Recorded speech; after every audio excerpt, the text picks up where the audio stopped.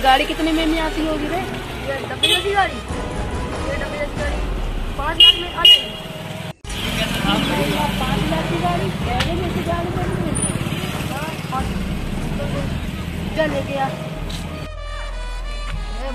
तू क्या बोल रहा है? घट में फूटी कौड़ी नहीं थी तो अपन गए।